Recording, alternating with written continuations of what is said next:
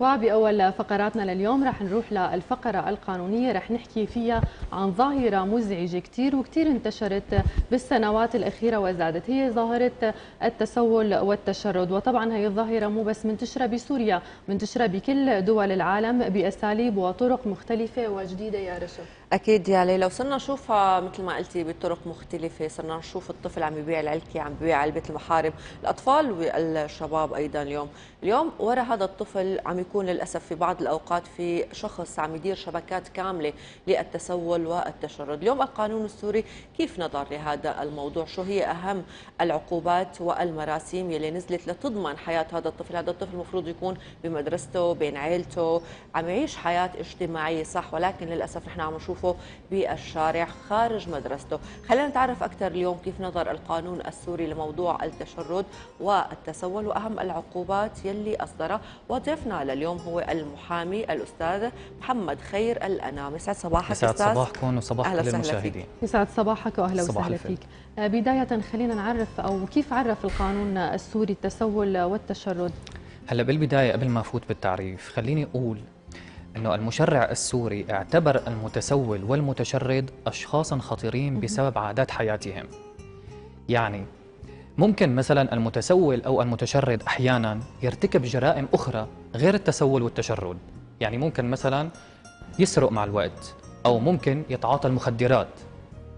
فمن هون شاف المشرع السوري أنه هي الجرائم خطيرة. ومن واجب المشرع السوري يعني أن يكون هناك عقوبات يعني واضحة وصريحة بنصوص قانونية بالمرسوم بالقانون رقم 8 لعام 2019 آه، بعض التعديلات كانت موجودة على بعض على بعض نصوص قانون العقوبات الخاصة بالتسول والتشرد.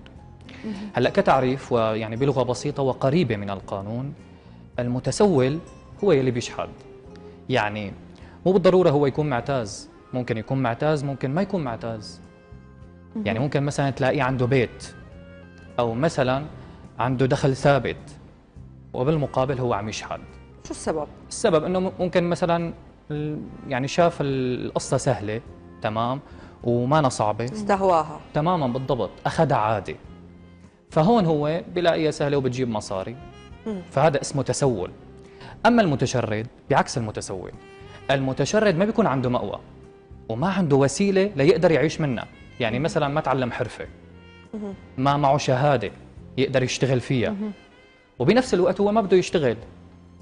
فبتلاقيهم مثلا وين؟ تحت الجسور بالحدائق بهي الأمكنة. نايمين ومتشردين.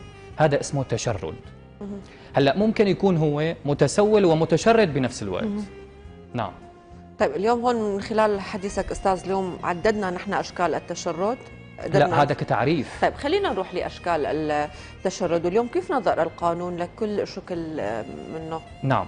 هلا قبل ما نفوت بأشكال التشرد بما إنه حكينا عن التسول خلينا نحكي عن أشكال التسول. هلا التسول ممكن يكون مثلا بشكل صريح.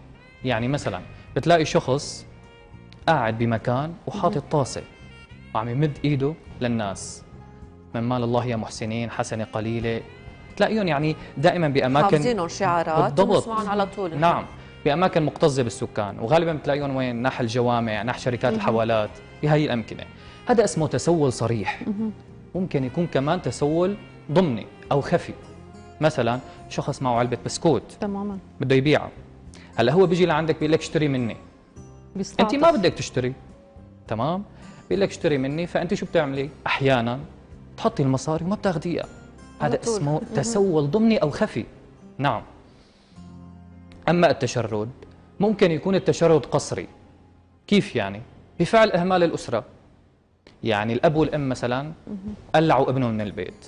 قالوا له يلا روح ما لك عنا شيء واعتمد على نفسك ونحن ما لنا مسؤولين عنك. هي عملية دفع باتجاه التشرد. تماما. وممكن يكون مثلا بفعل ظروف خارجية. حصل زلزال. الله يحمي بلادنا يعني. آمين. تمام؟ تشردت البيوت تشردت الناس والبيوت راحت مثلا بفعل الزلزال. هذا اسمه تشرد قصري. يعني هو ما له علاقة فيه يعني مو بإرادته. وممكن يكون إرادي بتقصير منه. يعني هو ما بده يشتغل. مثلا شخص كان عنده استسهل القصة اليوم. هو ما بده يشتغل. شخص مثلا مستأجر بيت وعنده عيلة خلص عقد إيجاره مثلا وطلع. ما عاد عنده القدرة على أنه يكفي. تمام؟ فهون هو ما بده يشتغل فتقصير منه. بصير هو متشرد فبتلاقيه هو وعيلته نايمين يا حرام بالحدائق وتحت الجسور أحيانا وحامل على إيده أكثر من ولد. تماما. هذا تشرد ارادي يعني هو قصر بحق نفسه. نعم. هي بالنسبة لأشكال التسول وأشكال التشرد. تمام. خلينا نحكي شوي عن في حال اليوم القانون. آه، في في أو رؤيه متسول لما بيلقوا القبض عليه شو هو عقوبته؟ هلا هو هل بيتعاقب؟ نعم. هلا هون بدنا نشوف قديش عمره. هلا إذا كان هو تحت العشرة لا يلاحظ جزائيا وإنما يفرض عليه تدابير إصلاحية. إذا كان تحت العشرة يعني ما بيتعاقب ما بينحبس ننتبه لهي النقطة. إذا كان بين العشرة وبين ال 18 أيضا تفرض عليه تدابير إصلاحية. كيف يعني؟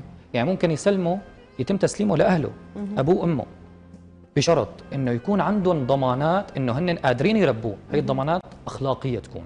فعلا هن قادرين يربوه. ويعتنوا فيه وينفقوا عليه. إذا ما كانوا موجودين يتم تسليمه إلى وليه الشرعي أو أحد أفراد أسرته. إذا ما كان عنده حدا تمام يوضع بجمعية أو مؤسسة صالحة لتربية الحدث. طبعا هي بعض التدابير الإصلاحية.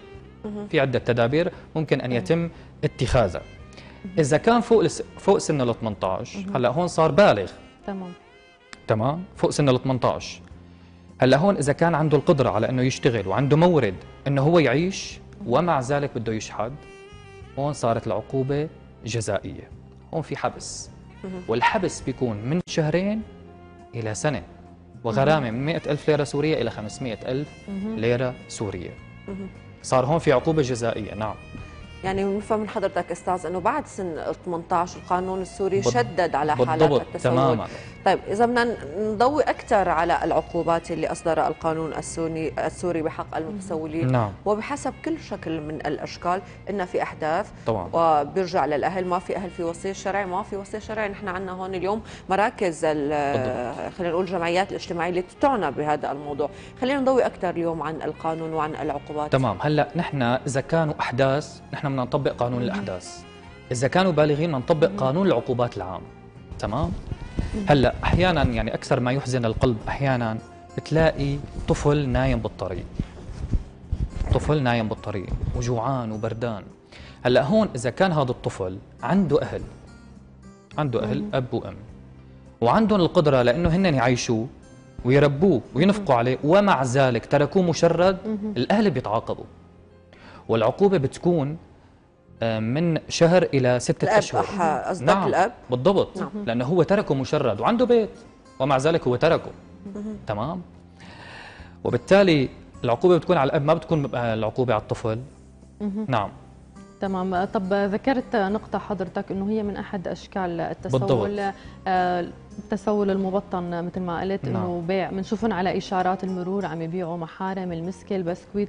هدول عقوبتهم نفس عقوبة الشخص المتسول بشكل صريح خلينا نقول. نعم. هلأ هون بدنا نشوف إذا هو مدفوع من قبل أحد ولا لا. هلأ إذا ما كان مدفوع من قبل أحد نفرض عليه التدابير الإصلاحية. إذا كان في مين بعته يعني أحيانا بنشوف مثلا أي شخص بدون تعيين في مين عم يوزعهم؟ يعني بتلاقي مثلا عم يوزعوا على الاشاره مشان يبيع مسكه علكه كذا ويجيب مصاري. ما بترجع لحتى تبيعها. هذا الشخص اللي عم يدفع لهذا الفعل. تمام؟ هو اللي بيتعاقب. عقوبته هون بتكون شديدة. بالحبس مع التشغيل من سنة إلى ثلاث سنوات. ليش؟ لأنه هو عم يبعت الأطفال وعم يستغلهم لمنفعة شخصية. نعم. في حال كان فوق ال 18 مثل ما ذكرت حضرتك كمان بيتعاقب هو بهي الحالة؟ أو في مبرر له إنه أنا عم بيع عم بشتغل؟ آه، قصدك إذا كان آه، يلي دفعوا 18 إيه بيتعاقب الشخص اللي عم بيبيع كمان إنه هو بنفس العقوبة طبعاً. بيتعاقبها لا في عقوبة مختلفة هون تمام؟ لأنه هون بلغ هو سن ال 18 حكيناها عقوبة المتسول. نفس العقوبة. نعم. طيب اليوم أستاذ نحن شركاء بهذا القانون ما بين الشعب نعم، وما أكيد. بين ال- الدولة بالنهاية. يعني اليوم واجب المواطن يعني هل اليوم مفروض عليه إنه وقت بشوف هي الظاهره وبيتأكد اليوم إنه في أطفال مجبرة على وجودها بهذا المكان إنه يروح ويقدم بلاغ. شو هي آلية تقديم البلاغ؟ هلا للأمانة خلينا نكون صريحين وواضحين. نحن شعب طيب. يعني أنا مثلا إذا شفت طفل أو شفت شخص عم يتسول أنا ما عندي القدرة حتى أعرف إنه هو فعلا بحاجة ولا لا. صحيح. نحن مرقنا بكثير ظروف صعبة. صحيح. فنحن ما بنعرف فعلا إذا هو محتاج ولا لا. هلا الدور الرئيسي هو دور الجهات المعنية بهذا الموضوع. يكون طبعا آه، آه، دور مكثف أنا مثلا إذا شفت طفل اجى لعندي أو طلب مني مصاري أنا لازم أعطيه؟ برايك أنا برأيي أنا برأيي لا. أحياناً أنت إذا بدك. تعطيه نعم. أنت إذا بدك تعطيه بتعوديه. هلأ إذا كان مثلا كبير إيه ممكن؟ هلأ إمبارح مثلا وقفني شخص قال لي أنا عتال وأجري كثير ضعيف. فبحاجة يعني. فأنا حسيت إنه هو محتاج فأعطيته. بس في ناس احترفوا هي القصة. يعني احترفوا هي المهنه مثلا مرة من المرات وقفني كمان واحد وقال لي أنا فعلا بحاجة وكذا وإلى آخره. بعد فترة شفته بنفس المنطقة بس شو عم يعمل بالمصاري؟ عم يروح يشرب فيهم. ففي ناس فعلا ممكن تكون بحاجة وفي ناس لا احترفوا هي المهنة. بس نحن اليوم ما قادرين نميز مثل ما ذكرت حضرتك يعني نعم. وبنرجع بنقول نحن شعب عاطفي يعني. طيب، ولكن نعم. أنا سألتك عن آلية البلاغ إذا حدا حب يروح ويقدم بلاغ خاصة بموضوع الأطفال يعني. أنا برأيي صعب شوي لأنه انت ما رح ترتاحي نفسيا. رح. تنامي صراحة يعني انت ما رح ترتاحي نفسيا لأنه بتخافي إنه أنا ظلمته ممكن يكون محتاج. تماما. فهون فهون أنا دوري تمام إذا اجى طفل وطلب مني أنا دوري أنصحه. أنصحه إنه ما بيصير تعمل هيك مو إني شجعه. على الشحاده لكن في منهم للأسف عم يكونوا يمكن صارت مع كثير ناس إنه هن عم تكون شخصيتهم كثير قوية لأنه هن ربيوا بالشارع يعني. للأسف ما عندهم يمكن بس تحكي كلمة بيجاوبك إجوبة. هن متدربين أساسا. يعني هو مدرب إنه يعمل مثلا آه، إنه بس يشتغل. تمام؟ آه، يعني أنت إذا بدك تروحي لعنده وتقولي له مثلا آه، تعال خليني ساعدك. خليني أجيب لك. بيقول لك لا ما بدي. هو بده مصاري. هو عم يشتغل لغاية معينة. ممكن يكون في حدا عم يدربه يعني. وعم تمام يشغله فعلا. حتى بنشوف الشباب والصبايا صاروا عندهم هي القصة هلأ عن جديد منتشرة. هدول أكيد مو محبب إنه ينعطوا. هدول لازم إنه أنت شاب أو صبيه إنه ليش ما بتروحوا بتشتغلوا؟ يعني بتقدروا إنه تمام. تشتغلوا. هي النقطة. هلأ في ناس للأسف بترفض الشغل. يعني بتقول لك أنا ما بدي أشتغل. شو بدي أشتغل؟ ما في شغل. هو ما بيكون عم يسعى بيقول لك أنا ما بس ما في شغل بالبلد مثلا. طب أنت حاولت عملت جهدك حتى مثلا إنك تلاقي مبرر لنفسك على الأقل. تماما. نعم. طيب أستاذ ذكرنا نحن أشخاص عم بيديروا شبكات نظامية آه، لأطفال أو لمراهقين. يمكن المراهقين هن خلينا نقول الضحيه الأكبر بهذا الموضوع. وعم يوزعون بمناطق معينة بإشارات معينة. ومثل ما ذكرت إنه باخر النهار في مبلغ معين مفروض يجيبوه نعم. أو إلى آخره. ولهم نسبة أكيد كثير قليلة. أكيد. ولكن اليوم القانون السوري وقت توجه لنحو هدول الأشخاص كيف تصدق لهم هل كان في دوريات دائما بالشوارع؟ هل كان العقوبات جدا مشددة؟ وفي حال تم إعادة الجرم مرة أخرى. طيب هلأ نحن بهي الحالة إذا كان في مين عم يدير هدول الأشخاص طبعا هذا فعل معاقب عليه بالقانون بموجب المرسوم التشريعي رقم 3 لعام 2010 هون في إتجار بالأشخاص. أنت عم تستدرج وتستغل أشخاص لمنفعة أو كسب مادي تمام؟ مقابل العمل بغايات غير مشروعة أو نعم. أعمال غير مشروعة. هون العقوبة لا تقل عن سبع سنوات. من يقوم بالإتجار بالأشخاص بهي الطريقة عقوبته بتكون مشددة. طبعا هون آه، مثل ما قلنا الدور الرئيسي يقع على الجهات المعنية بهذا الأمر. نعم. بضبط هدول آه، الحالات ومعرفة فعلا مين بحاجة أو مو مين ومين مو بحاجة. خاصة هذا الموضوع جدا خطير. يعني ممكن طبعاً. نحن نطلع منه من باب التسول للجرائم للسرقة لتجارة الأعضاء بالضبط. يعني بالأطفال بالنهاية. يعني يعني هي شبكة موسعة اللي بيشتغل هاي الشغلة هو قادر يعمل أي شيء نعم. بالنهاية تمام أستاذ بالنسبة للأطفال اللي هن أو دور وزارة الشؤون الاجتماعية اليوم آه، تجاه الأطفال اللي تحت سن ال 18 هدول اللي ممكن يكون أنت ذكرت إنه بيكون في أب وأم أكيد بده نعم. يكون تحت ظروف معينة لكن اللي ما عندهم أب وأم ما في عيله هدول آه، مثل ما قلت لك يشتغلوا كيف هدول اليوم وزارة الشؤون الاجتماعية قادرة إنه تحميهم أو تعطيهم آه، دعم في معاهد مخصصة ومؤسسات مخصصة لتربية الحدث مهم. لإعالته وتربيته وكمان تأهيله وتعليمه يعني حتى لو آه، يعني آه، ما كان في عنده أهل لا هو محمي قانونا محمي. نعم. ولكن الموضوع بحاجة لمتابعة أنا بقترح تمام يكون في تعاون بين وزارة الشؤون الاجتماعية والعمل مع الجمعيات الخيرية مثلا. بتأمين فرص عمل لهؤلاء بغض النظر عن السن يعني تمام؟ لتامين فرص عمل مع هؤلاء بالتنسيق طبعا مع آه. المخاتير ولجان الأحياء يقدروا يعرفوا مين بحاجة ومين عم يتسول طمعا. صحيح يمكن. هلأ يلي بحاجة تمام نلاقي له فرصة عمل. أنت إذا أصلحتي رب الأسرة أصلحتي الأسرة كلها. تماما ومين ما بحاجة أكيد يعني هذا الموضوع بيحب- بده متابعة يعني. أكيد أنا هذا اقتراح. يعني هي الخطوة جدا مهمة اليوم آه، عملية المسح البشري للحاجيات الأساسية للأشخاص يعني. ولكن في نماذج بتقول لك أنا ماني عم بقدر على ابني أنا ضبيته مرة وتنتين وثلاثه من الشارع بس خلص هو تعود يعني. وهالنموذج موجود بالواقع. يعني. اليوم يعني الأهل ما عم يقدروا على ابنهم وال- واليوم مثلا القانون حمل الأهل هي المسؤولية. شو الحل بهي النقطه هلأ هن يعني؟ هو حمل القانون مسؤولية الأهل لما مثلا بيتركوه مشرد وهن قادرين مثلا على تربيته وإعالته. في حال جابوه سلموه لأهلهم والصبح هرب الولد. هلا هون هون يعاق... الأهل بيتعاقبوا بغرامة. طبعا هم يعني إذا هون كانوا مع اهملوا واجباتهم الأسرية تمام؟ آه يعني هو عنده واجب أخلاقي وديني الاب والام إنه هو يربي ابنه. يعني قبل ما نحكي بالقانون اخلاقيا ودينيا أنت جبت ولد على هي الدنيا. بدك تربيه وتهتم فيه. هذا واجبك تمام؟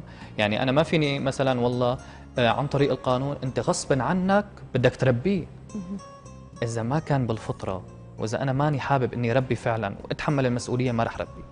ولكن القانون حمى الأحداث في حال مثلا كان هناك تقصير أو لم تتوافر عند الأهل الضمانات الأخلاقية للتربية. تمام لأنه اليوم المراهق وقت اللي بيكون ما في انتباه من الأهل بمرحلة المراهقة بالتحديد اليوم عم يروح لشغلات كثيره مو بس التسول أو التشرد اللي عم نحكي عنه. لاحظنا أحيانا بنلاقي أطفال عم يشموا شالة مثلا.